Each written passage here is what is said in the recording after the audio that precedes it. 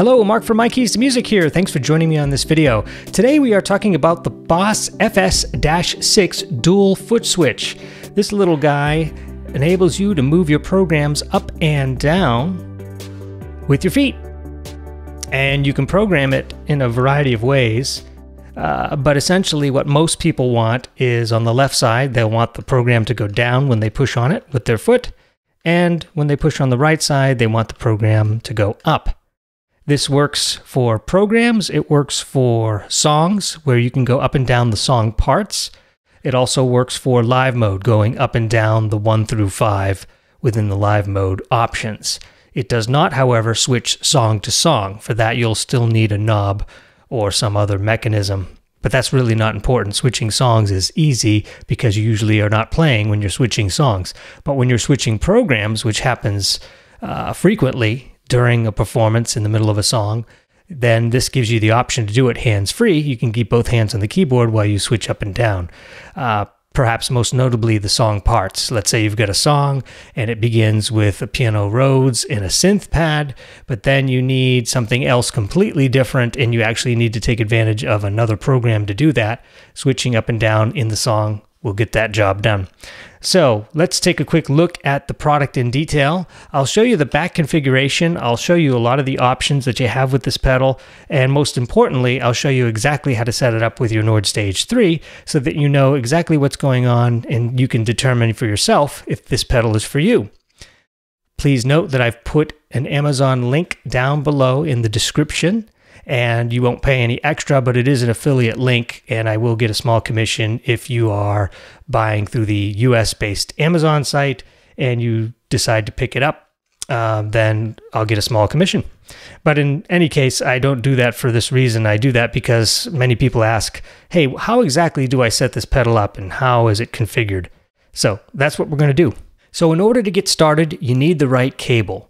So, for this, you're going to need a quarter inch cable with a TRS configuration. That's tip, ring, sleeve. The tip, the ring, and the sleeve. Very much like what you'd see if you were plugging in stereo headphones. It's that sort of a connection point. It's a single cable, and you'll put one end into the back of the Nord Stage 3 in the program up down jack, and then the other end will go right in the center of the Boss pedal in the AB switch. So even though there's other ports there in the back of the pedal, the only one you'll need is the AB one right in the middle, and that is the sweet spot. That's what allows this particular foot switch to work perfectly for the Nord Stage 3. Now, if you find yourself with an electro keyboard and you don't have the program up and down option, then I've put a link here um, where you can check out another video where I offer a solution that is a foot switch that works with MIDI. And that particular solution will work with your Electro. In fact, it'll work with just about any keyboard that allows the five pin MIDI connection. In any case, that's the cable. Now let's take a look at the pedal. So the pedal actually is powered by a 9 volt battery, which does in fact come included. It's one of those generic batteries, but it is a battery nonetheless. So you'll simply want to flip open the back cover like you normally would, and then put the battery in. Next, you want to look at the back of the pedal. We have options on either side for polarity and mode. For polarity, you want to flip the switch to the left. And for mode, you most likely want the momentary option, the FS-5U option. Then your cable will go directly into the center jack, the one labeled A and B. All right, and here it is, the Boss FS-6 dual foot switch. This gives you an idea of the size of it. You'll also want to note that you can interconnect this switch with another one just like it. So you could take another foot switch and lock them together and have two foot switches side by side. You might want to consider that because not only does this dual foot switch move your programs up and down, which you're about to see. But it can also be used if you use the A and the B port here, or the jack in the back. You could actually use one side for sustain, for example, and another side for your rotor pedal, where you can switch between fast and slow or push it and have it move between one or the other. So wow, there's a lot of functionality with these foot switches. And if you got two side by side, um, it's an, it offers an interesting option for you, considering that a sustain pedal in its traditional sense, if, if you could get your sustain pedal down to this size, which is you know no bigger than my index finger here, versus this, uh, this is a big difference. And if real estate for you, in terms of pedal real estate down at your feet, is at a premium, you might not want these big honking sustain pedals down there. You might want just this little guy. Just an idea, an option. I think I'm going to definitely explore that option as a sustain pedal. Now, keep in mind, depending on how big your feet are and and how you are, you know, some people can only work with a sustain pedal like this, and going to something small like this would be a, a step in the wrong direction for some. But regardless of that, let's continue this uh, setup for programs up and down. So we have the polarity switch, as I mentioned, both on the left, and then the mode switch, both toggled on the left, which is the momentary option. Then we need our cable, which we don't as keyboard players, you don't typically think of this cable as something that you'd have in your rig on a normal basis, but it is the tip ring sleeve type cable, quarter inch, both sides.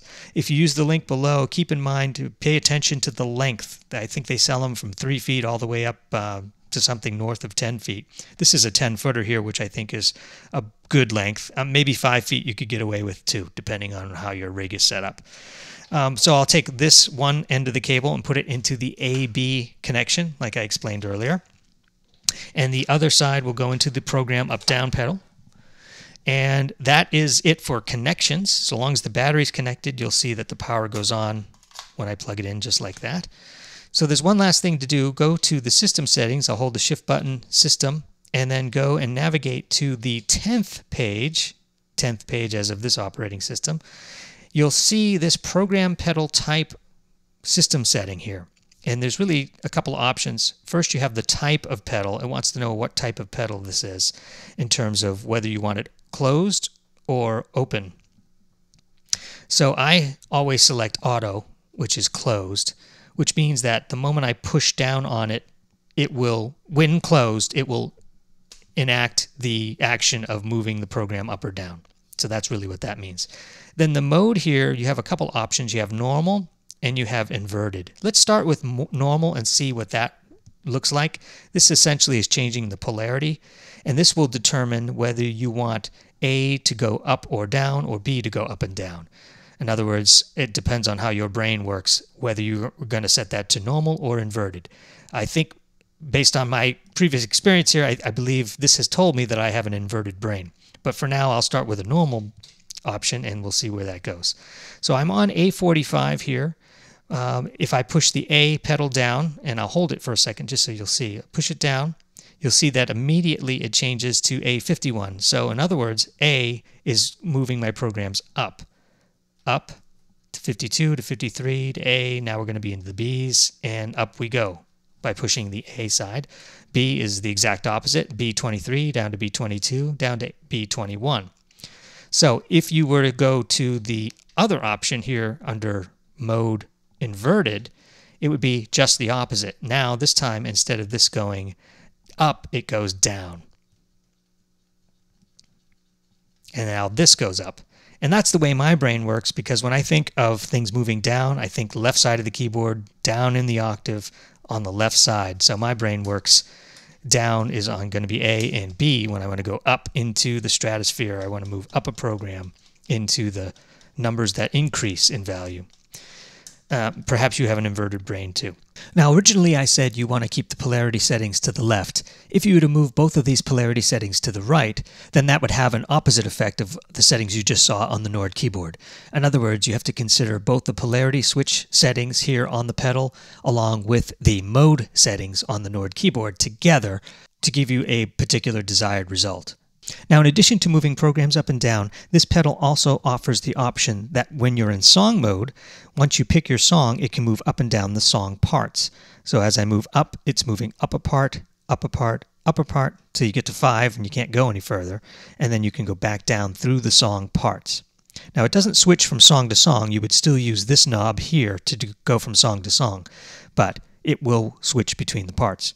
The other thing it'll do is when you're in live mode, it also moves up and down the live mode settings, 1 through 5, like so. In any case, that's how this works. Really straightforward. Now, let me show you a couple other options here with this pedal that you might not first suspect is even possible, but it actually is. This time, I'm going to leave the settings exactly the same, by the way. And I'm going to then take a traditional quarter inch cable, which is the tip sleeve cable type, and plug one end into the A pedal.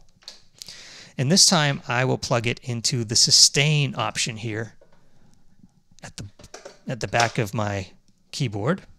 And at this point, by the way, this would work with an Electro because an Electro has a sustain port in the back. So that would work just fine. All right, so here's A. Now what I would expect to have happen, let me just put the piano on here.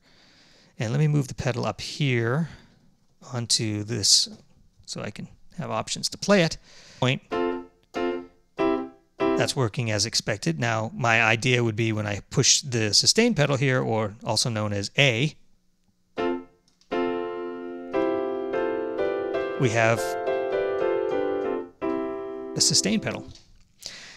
All right, perfect. Now I can take another cable, again, a regular tip sleeve cable, and this time go to the B option here in the back, the B port. And this time I will connect this cable over here to the rotor pedal. And I will turn off the piano engine, turn on the organ engine, and I'll also make sure to turn on the actual rotor speaker here for organ. And I'll keep it in non-stop modes. Right now it's slow stop. So the idea here behind this, you'll see that it flips this option. And so there's my rotor speaker is on, but it isn't fast. Now watch this.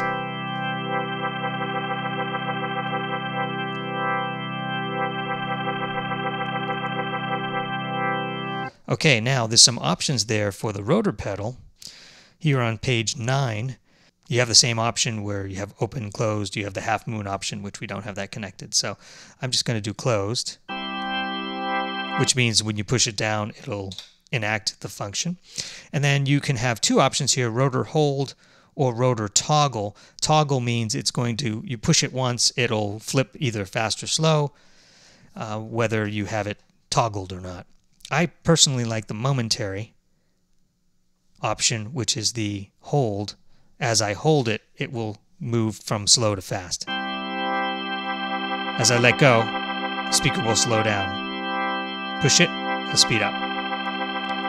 Anyway, either option is available to you. I'll just quickly show you the other option, the toggle. Slow, now it's fast and I can let go of my foot. Push it again, it's going to slow the speaker down. That's synonymous with a half moon switch as you move it from slow to fast. It's like a toggle, one or the other. This is like a toggle on or off, uh, one or the other, rather versus the hold. But I, I, personally like the hold better. I think that's a little bit more control. But then again, in order, if you were playing a long passage where you had the fast speaker on for a length of time, it might get kind of annoying having to hold your foot there, or perhaps even more difficult rather than just pushing it on and then playing to your heart's content. Anyway, those are some subtle options there. Lots of functionality here with this foot switch. I really like the, the the whole concept of it. I like the look of it actually. Now, if you're brand new to the world of pedals as it relates to your Nord keyboard, have a look at my Nord Stage 3 pedal options part 1 and part 2 video series. This will take you on a really a beginner's journey uh, into the world of pedals and how they relate to your keyboard. We've explored here today the FS-6 foot switch. There is an FS-7 dual foot switch as well. If you want to see a review on that, I'll also put a link down below and above here now. Thanks for joining me. We'll catch you on the next one.